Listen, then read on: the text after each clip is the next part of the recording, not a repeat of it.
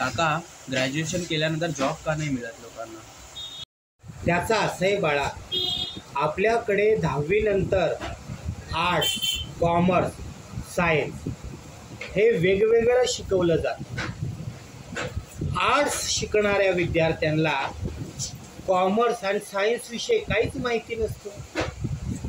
Commerce शिकणाऱ्या विद्यार्थ्यांना arts आणि सायन्सबद्दल काहीच माहिती नाही. आणि सायन्स शिकणाऱ्या विद्यार्थ्यांना आर्ट्स आणि कॉमर्स विषय काहीच माहिती नाही. मग मला सांग ग्रॅज्युएशन नंतर त्यांना काम कसं मिळेल? जर काम पाहिजे असेल तर अकरावीपासून ग्रॅज्युएशनपर्यंत प्रत्येक वर्गात आर्ट्स कॉमर्स सायन्स हे एकत्र शिकवलं पाहिजे असं मला वाटतं. ओके थँक्यू शाबास. चल. थँक्यू अरे बाळा कुठे चाललास? मसनात. हां?